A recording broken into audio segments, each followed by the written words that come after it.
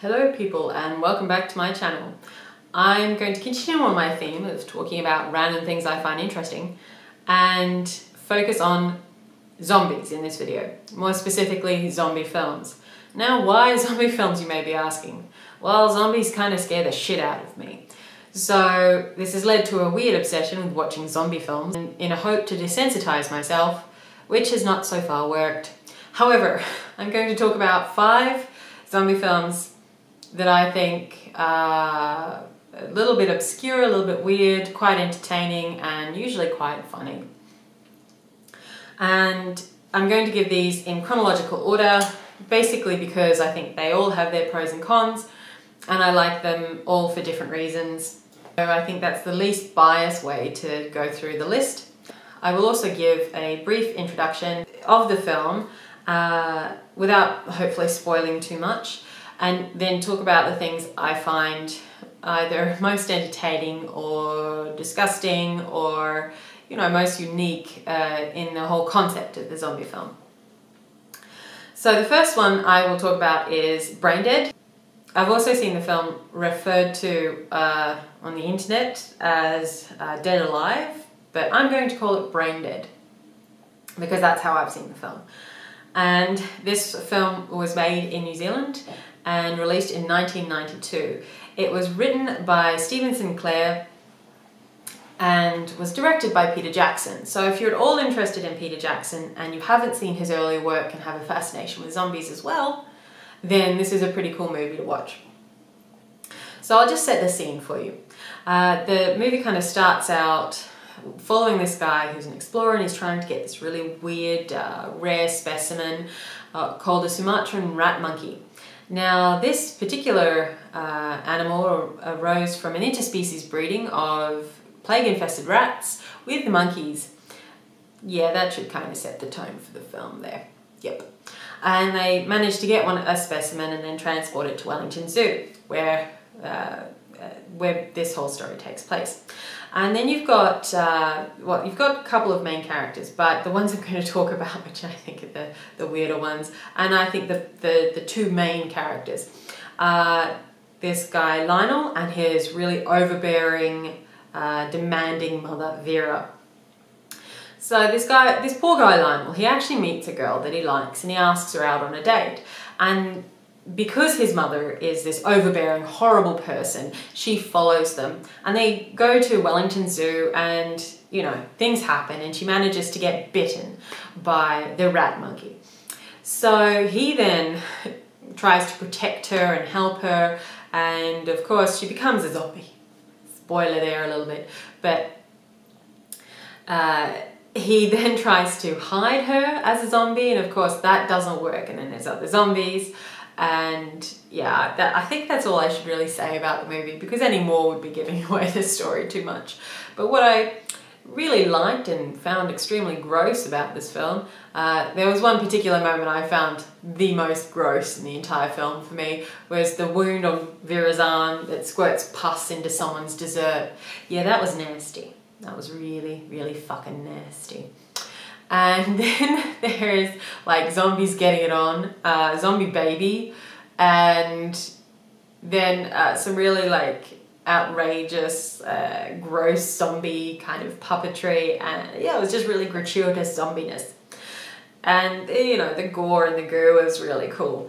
And that's why I like this movie. It's just really gross and funny. And I think for that reason, extremely entertaining. The next one is also from New Zealand. It's uh, called Black Sheep and it was released in 2006. It was written and directed by Jonathan King. Uh, the film really starts with uh, these two brothers on, the, on their family farm. Uh, one, Angus, the older brother, and the younger brother, Henry. And Angus is a real ass and he kills uh, Henry's pet sheep and Henry finds it and then uh, they're actually told at around at that moment that their father has died in an accident. So these two events uh, combine to horrifically traumatize Henry and leads to uh, him having a fear of sheep. Then you skip to 15 years in the future And Henry is traveling back to the family farm to sign over his half of the farm to Angus. But what he doesn't know is that Angus has been trying to develop the perfect sheep by performing genetic mutations on sheep. And it, you know, things happen, and one of the mutant uh, reject sheep actually ends up being uh, released, and it's this deformed lamb, and it bites people, and then they become zombie were sheep. So, zombie fucking were sheep, come on, it's fucking brilliant. but it also uh, contaminates the sheep, and then uh, they have to try and stop the zombie were sheep. And that's probably the, the main reason I love this movie is zombie were sheep. Then you've got these really, you know, boring, uh, innocuous herbivore sheep that become these ravenous murderers. Uh, and there's one scene, you know, where a sheep rips a guy's throat out. There's blood and gore going everywhere, and it's just fucking fantastic. Uh, and it's uh, yeah. Then there's this really strange part, you know, about the real love of sheep. Someone has a real love of sheep. Not going to ruin it. You need to watch it for that reason. And there's also the, the gore is fantastic. So I very strongly recommend watching this if you're at all interested in a weird interpretation of uh, zombies. Yeah, it's really weird. but fantastic. The next movie is a Norwegian film called uh, Dead Snow. And I don't think I'm going to pronounce this correctly, but how you would say it in Norwegian is Død snø. Uh, I could be totally wrong. My apologies to anyone whoever who watches this who is Norwegian. Yeah, my bad. Uh, and this movie was made in 2009. And because it is Norwegian, it does contain subtitles. I recommend watching it with the subtitles rather than uh, with it being dubbed into a specific language for the simple reason that you get more inflection and tone when you actually have the actors talking in their native language. Uh, it was directed by, and I really hope I get this right, Tommy uh. And it was written by Tommy Wirkola and Stig Frode Henriksen. I hope I said those right. I'm really sorry if I didn't. So the movie takes place like uh, I guess you could say the standard setup for horror movies for with uh, people in their early 20s going off into a cabin in the woods and uh, this being Norway uh, of course the cabin is in the mountains and there's snow everywhere and they're going on a snow trip in spring and then they get attacked by uh, zombie Nazis. I'm gonna leave it there because that's all you need to know. They get attacked by fucking zombie Nazis. Uh, I just think it's fantastic. yeah, that's just great. Uh, there are several really great moments in, in the film. There's one where a zombie reaches through and crushes a guy's skull and his brain just comes flying out. It was hilarious. There's also one really badass moment where a guy actually sews a bite shut, like he sews his wound, and I was just like, oh, holy shit. Uh, that was that was pretty epic. And of course, you know, they just get chased by, you know, zombie Nazis. So, I don't think you really need to add much more to that. It should be watched for that simple reason. the next one is probably the most popular out of the list I'm talking about, uh, and I think really because you know it stars it stars some quite well known people and it's called Warm Bodies. Now, this is a US film, it was released in 2013, directed by Jonathan Levine, and the screenplay was also written by Jonathan Levine. However, it was based on a book by the same name, written by Isaac Marion. And the reason it's probably much more popular is it stars Nicholas Hoult, Teresa Palmer, and John Malkovich. So it probably got a much broader audience because of the, the stars within the film. Uh, however, I really liked it and I felt it should be included because it's one of the few films that actually does, does the movie from the zombies perspective. And I think it's, it's very easy to, you know, you have the really bad, evil villain, uh, they just become one dimensional. So I really liked that this was uh, make, putting the zombies in the grey area of not being entirely bad as we want to make them. They actually had more to them and that kind of redefined how you should see a zombie, I feel. And the, and the story centers around R, uh, because he can't remember the rest of his name, who is a zombie, and how he falls for a girl called Julie. And it is like this really strange romance. You still have the bad guys, I have to say. Uh, there are even worse versions of the zombies. They kind of deteriorate into these creatures called bonies. And I won't say much more about the story because then it gives it away. It's enough to say it's a love story with zombies. And it's really from the perspective of the zombies. So I, I like that. There, the things I loved, uh, it did have the classic shuffling zombies.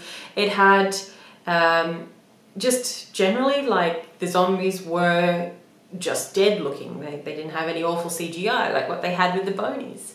Yeah, you need to ignore that because I think a really good horror movie, you shouldn't be relying on CGI for the scare. You should be relying on uh, just the, the fear you create in the film. So that's the one thing I don't like about this film is that they have this CGI scary things. But other than that, it's a fun film. I like the idea of like a zombie romance. So that was cool. The last movie is an Australian movie called Wyrmwood and this film was released in 2014. It was directed by, by Kiah Roache Turner and it was written by, by Kiah and Tristan Roache Turner. Now, I love this film. I think it is fucking brilliant. It is one of the best modern zombie films. And I just want to point out they're Australian. They get the Australian accent. And how they speak is how Australians speak. So, yeah. Don't need to add much there. No one's actually putting on a fake accent. I really liked it. But the story really begins with these couple of guys talking about the start of the zombie apocalypse, which I don't think a lot of zombie movies really deal with, like the very start. You usually get someone who wakes up and something's happened, but they are actually trying to explain how it happens, which I think is cool. But you have like this guy, Benny, and his brother's out on a camping trip, and then he wakes up and one of his brothers has been killed, the other's a zombie.